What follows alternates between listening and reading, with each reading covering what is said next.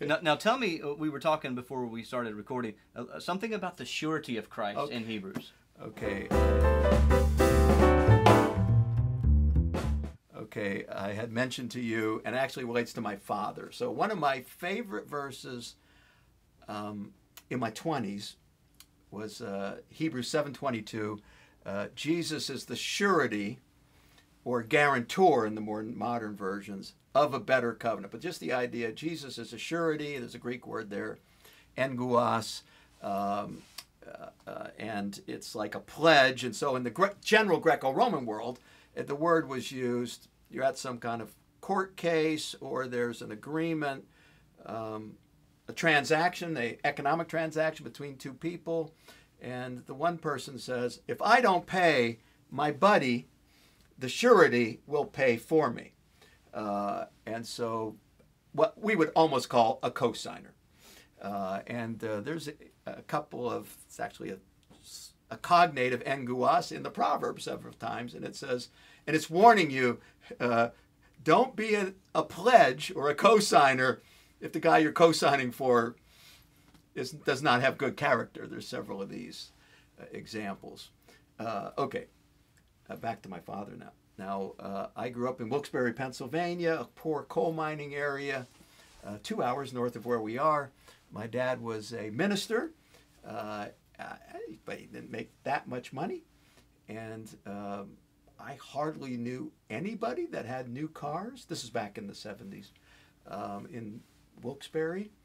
Uh, and uh, I was fortunate enough to go to college and fortunate enough to get a job out of college. I was an engineer in my former life. And so I got this engineering job, which had a nice salary.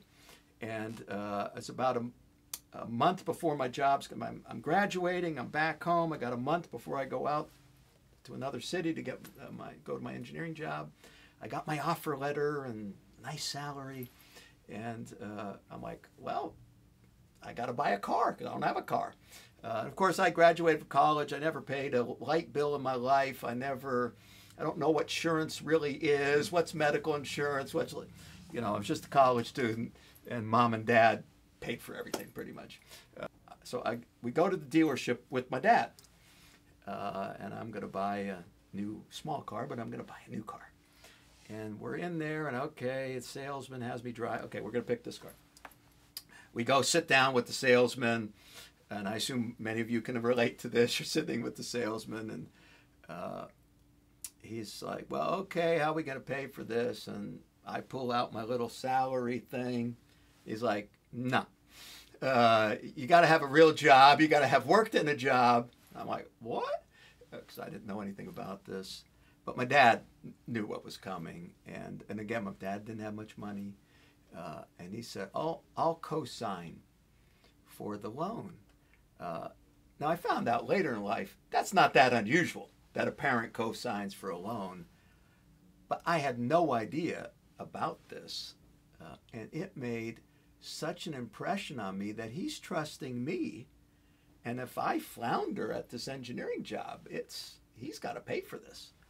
Um, and in, in the Lord's providence, I did not flounder in the job. But then when I read in Hebrews 7:22, it's not just Jesus is going to be the surety if I goof up.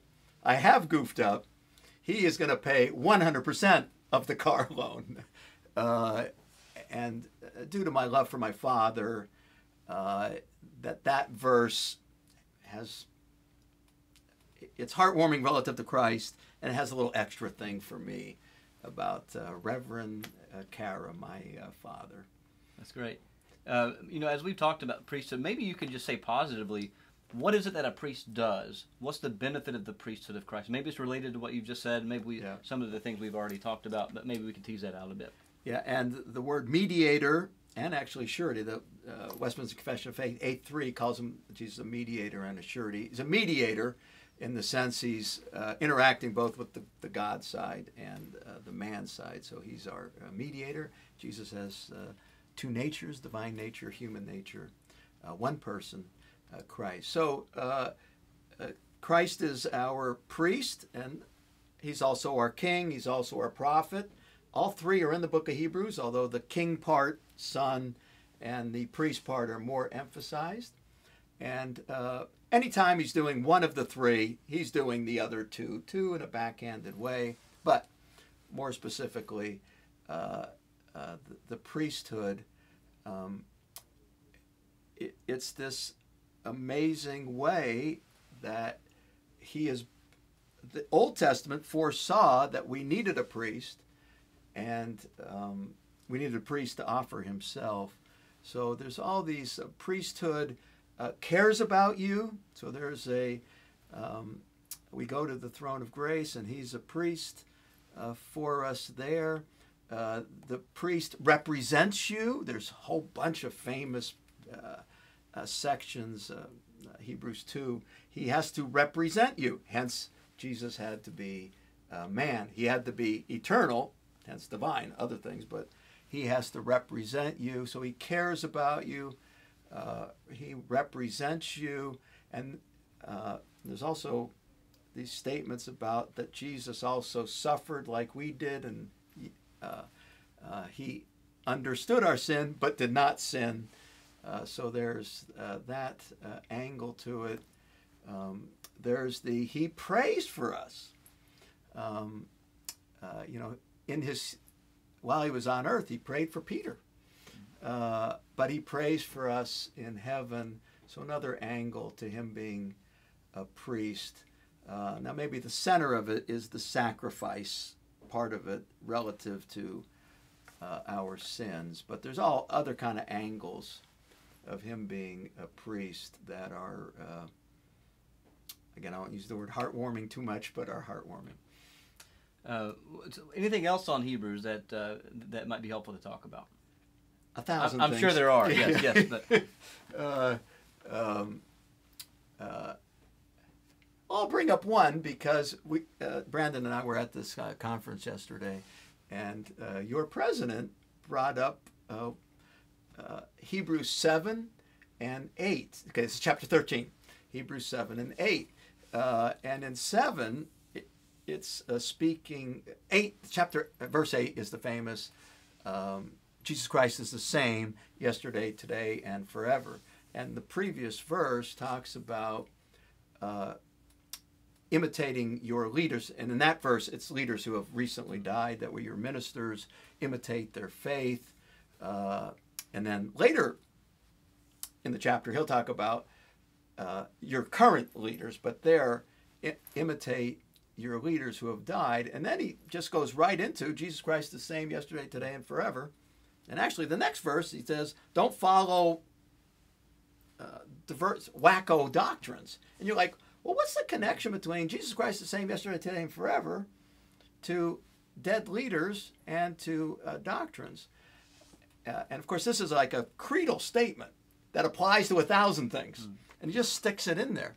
Well, one, if Jesus Christ is the same yesterday, today, and forever, and the word same there is goes back to chapter 1 where it's talking about Jesus as the creator uh, from Psalm 102, uh, but also he's the same Savior uh, in the Old Testament and in the New Testament. Uh, um, and so if he's the same Savior, your leaders, the life they lived was connected to Christ. He's the same. That's a uh, logic of why we should be imitating other Christians. Now, ultimately, Christ is the example but other believers with appropriate qualifications are uh, examples because it's the same Christ, same yesterday, today, and forever. And then in the next verse, talking about the uh, goofy doctrines that they were being tempted to fall into, uh, because he's the same, the doctrines of the Bible all point to Christ. Uh, there isn't new doctrines properly understood. Uh, they were always pointing to Christ. They still always point to Christ, and He's not changing. He's the same Christ. Uh, Jesus is the same yesterday, today, and forever. Very good. And and if, just relating that back to chapter one, some of the clearest New Testament evidence for the divinity of Christ is right there in chapter one. Yes, well said. Uh, the first four verses are this unbelievable opening paragraph saying these amazing things and then uh, verse 5 through the, except for the last verse, through the rest of the chapter, are running to the Old Testament to prove the quotes.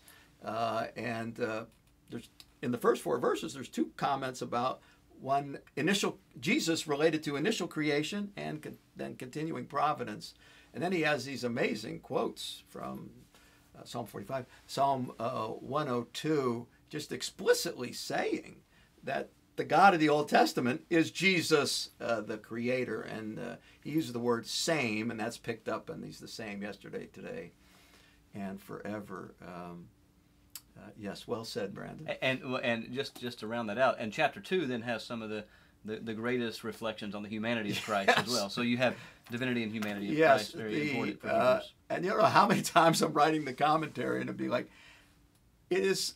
a sh- I- Of course, I didn't say it a hundred times, but I thought it a hundred times. It is so shocking how he goes from divinity of Christ to humanity of Christ, and not just sort of divinity, sort of humanity. It is the full version of uh, divinity. I mean, just thinking Jesus died. I mean, had his human nature.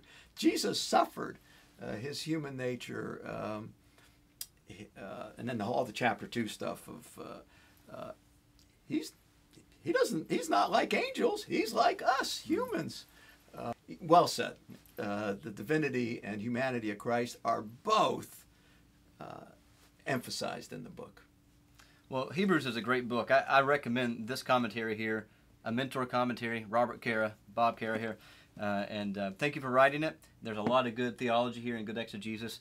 And so thanks for joining us. today. Well, no problem. Thanks for this uh, channel that you're working on here. So good. So I hope this has been helpful. Thanks for watching.